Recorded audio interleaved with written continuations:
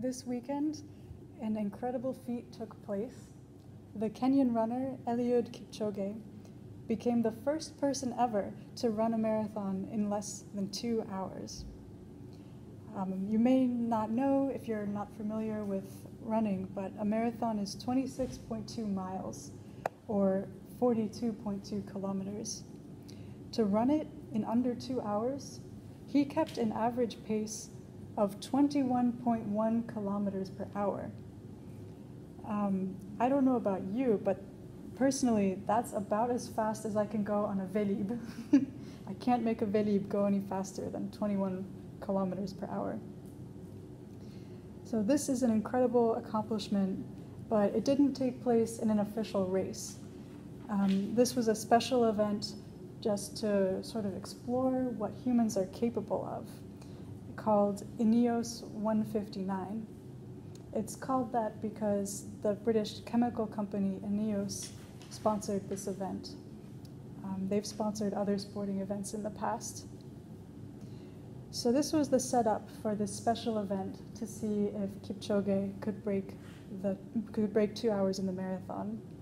He um, had to do 4.4 laps of a flat 4.3 kilometer course in Vienna, Austria. It wasn't a very exciting course, but I think they chose it because it's flat and the terrain is very predictable. Um, there were also spectators the whole length of the course who were cheering him on while he ran. Just as a side note, this was Kipchoge's second attempt to break two hours in the marathon, and this time it was his request that fans be allowed on the course. Um, he must like the encouragement and the support, but who wouldn't if you were running for two hours? Uh, Kipchoge's first attempt to break two hours in the marathon was in 2017. That's when Nike sponsored an event for him and two other elite distance runners. That event was called Breaking Two, and Kipchoge um, was the first finisher in that event, but he missed the two hour mark. He was a little bit slower than two hours. And it seems, based on what I read, that fans were not allowed at Breaking Two. So maybe that's what made the difference this year. Maybe it made a difference to have all this encouragement and cheering and support.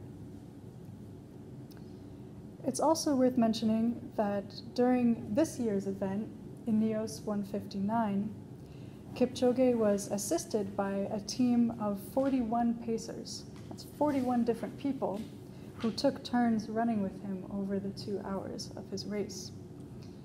Pacers run next to or ahead of the runner to help them stick to their goal pace. I think that in this case, his pacers ran in front of him in a V shape so he could draft off of them.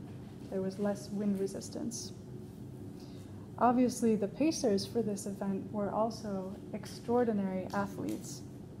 The group included um, men who have won Olympic medals and who have won world championships for different running distances. Many of his pacers were also Kenyan, but some of them were from America or Australia or Ethiopia or Uganda. I'll stop there. That's a good halfway point.